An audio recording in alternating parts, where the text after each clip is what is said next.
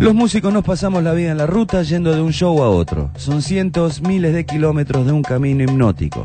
Por la ventana corre un sinfín de la vida con letras, acordes y recuerdos, pero vamos a tanta velocidad que nos perdemos casi todo. Soy un buscador por naturaleza, me llevo mal con el conformismo, por eso salí a la ruta de nuevo, a recorrer los caminos de siempre para preguntarle a las glorias cómo empezó todo, para ver cómo la pelean los de hoy y para descubrir a los chicos a los ejemplos de lo que puede ser el futuro. Todo eso es MP3, música para el tercer milenio. Mi nombre es Bayano y los invito a posar la lupa sobre la vida y obra del gran Rubén Blades.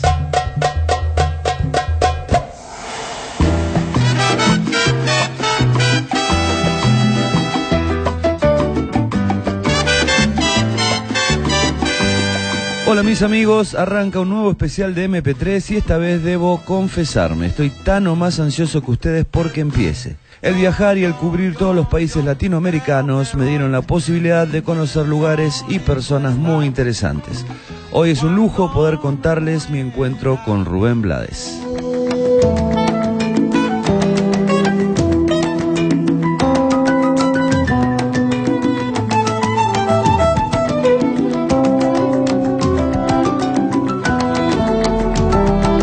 Nadie escoge a su familia o a su raza cuando nace, ni al ser rico, pobre, bueno, malo, valiente o cobarde.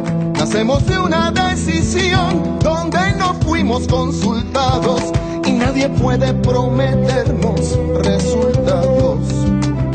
Hablar con Rubén es hacerlo con un abogado, un político, un actor, un músico que tocó, cantó y actuó con todos los referentes de cada rubro.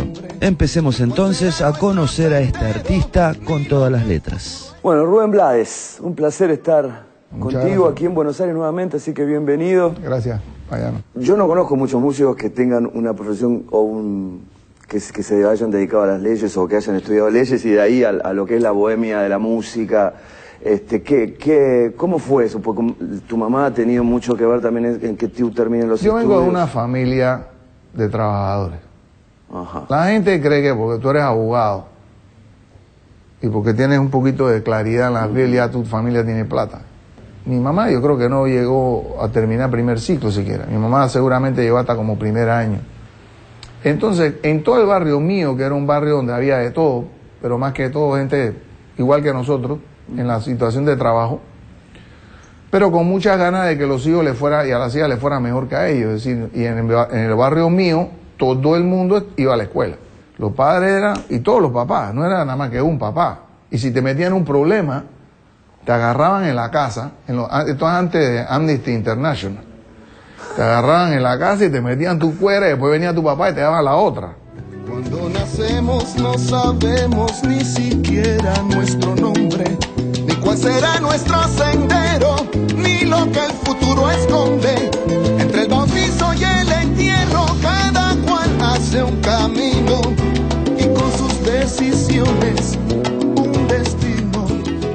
Yo de vez en cuando, los fines de semana, tocaba con un grupo de eh, Los Salvajes del Ritmo. Los salvajes. Sí, yo no sé por qué le pusieron ese nombre. Eran muy, muy civilizados todos. Esto, y, y un día un profesor de la universidad me vio en un baile, en una fiesta privada. Y el lunes, eso fue un sábado, el lunes me fueron a llamar para decirme que el decano de la facultad quería verme. Y fui, me sentó y me dijo, ¿usted va a ser músico o abogado? Así. Y yo le dije, abogado. Dice, bueno, entonces usted no puede estar tocando por ahí. Y ese fue el fin de mi música ahí. Yo no toqué más hasta que me terminé. Bueno, ¿y por qué pasó en ese momento? Nada, mi familia no, tuvo que salir, mi familia música, tuvo que música. salir por una cuestión política en el 74. Ok. Eh, perdón, en el 73 se fue mi familia por un problema que tuvo mi papá, esto y eh, político con Noriega específicamente en ese tiempo. Y mi diploma en Miami no servía para nada. Y entonces no sabía qué hacer y llamé a la Fania en Nueva York porque era una compañía con la que yo había tenido cierta relación. Entonces yo llamé para preguntar si necesitaban algo, canciones o, eh, o cantar o algo y me dijeron que no. Y entonces casi colgando les pregunto, ¿usted no tiene un trabajo de algo? Entonces me dijeron, bueno, aquí ahora mismo hay una plaza abierta en el correo de la Fania. Así que estuve ahí un rato y entonces a Barreto se le fue el cantante excelente que tenía Tito Allen. Y entonces empezó a buscar cantantes nuevos. Y terminó audicionándome porque él sabía que yo estaba ahí. Ya llegado a Nueva York y empezamos a cantar los dos con Rey Barreto. Y así empecé. Somos una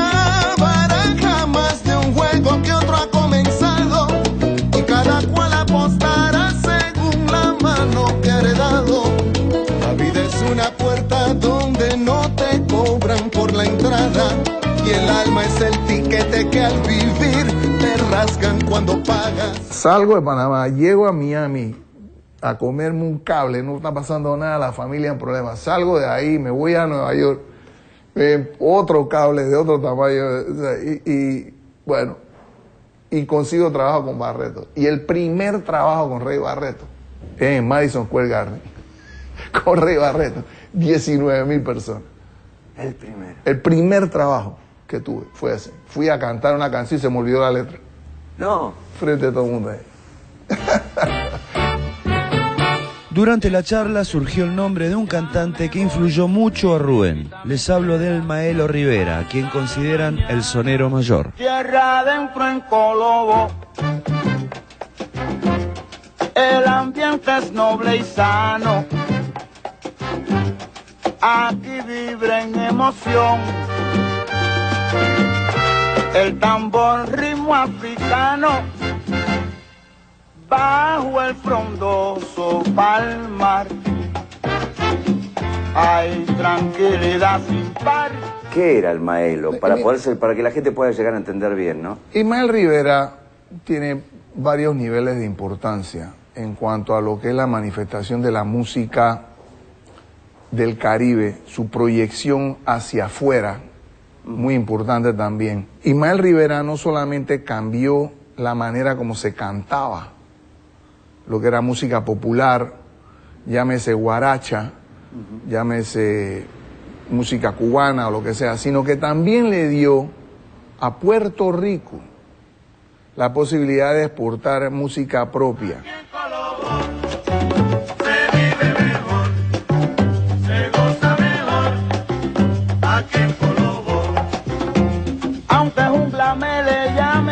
Soy feliz en mi palmar. Y esta calma soberana, por nada la he de cambiar Colobo. En lo hice aldea.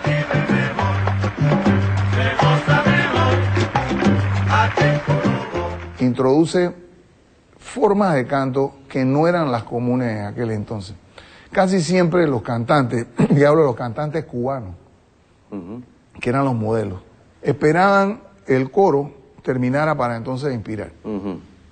Ismael rompe eso.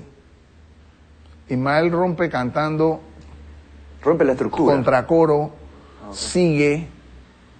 Eh, tú llevas amores con eh, qué, dolores, qué dolores, tú llevas dolores, qué dolores, dolores, dolores. Eso por un lado. Eh, por otro lado, el tono que él tenía, El timbre. el timbre de voz, que era una cuestión muy popular. Eh, Ismael bailaba muy bien y, y- y sabía de percusión. Oye, los maizonaves. Colobo, Colobo, Colobo, Colobo. Se vive mejor. Se goza mejor mi bomba que aquí en Colobo. Pregúntale a Cortijo. Miren ahora esta perlita que quedó de un encuentro entre Rubén y el Maelo. En el año 1977 obtuve mi residencia en los Estados Unidos después de haber estado eh, ilegal por espacio de dos años. La noche anterior a mi viaje yo tenía mucha aprensión, tenía mucho temor y el día antes de la partida Ismael se apareció en la casa con una botellita de vino Y yo me sorprendí mucho. Una botellita de vino y mucho cariño. Yo me sorprendí mucho, se sentó, me dijo, no te preocupes, todo va a salir bien, anda sin miedo, no tengas ningún temor, eh, el nazareno estará contigo, ¿no? Eh, gracias a Dios, viajé, obtuve mi, mi, mi tarjeta y hoy estoy aquí con Mi tarjeta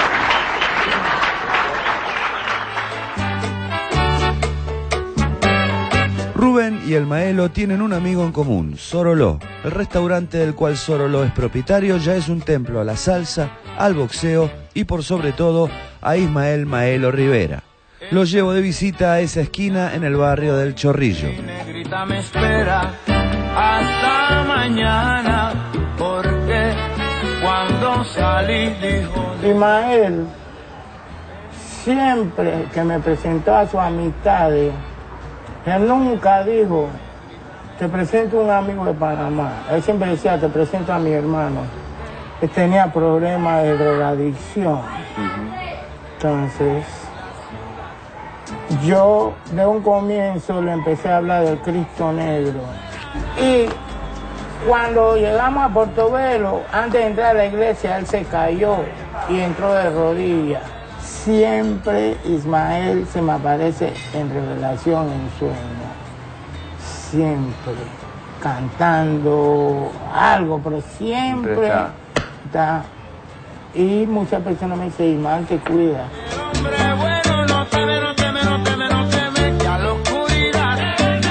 A medida que iba pasando la charla se repetía el nombre del Nazareno y quise preguntarle a Rubén por él. ¿Qué relación tenés, Rubén, con el Nazareno? O sea, ¿eres devoto? No, yo en realidad eh, creo que hay una fuerza en el mundo. Yo, yo, yo creo que hay una fuerza del bien. Yo no necesariamente me identifico con específicas cosas, pero lo respeto. Respeto la creencia y sé que eh, a Ismael le funcionó mucho eso.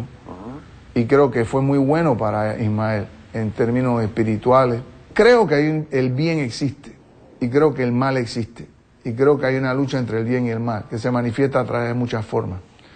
Eh, soy católico por nacimiento, voy a la iglesia todos los domingos, eh, porque es el lugar donde tú vas a enfrentar tu mortalidad y tu- tus errores, eh, y a dar gracias por las cosas que, que tienes, que creo que es muy importante hacerlo. Pero de creer en la cuestión total, Claro, el asunto, yo y hasta pido disculpas cuando digo, digo, me disculpa, pero esto es lo que puedo hacer. Por cómo hablaban de él, merecía la pena visitarlo y entender mucho mejor a los panameños. El Nazareno está en Portobelo, un hermoso pueblito sobre la costa de Panamá. Aprovechando la visita, le pedí algunas cositas personales.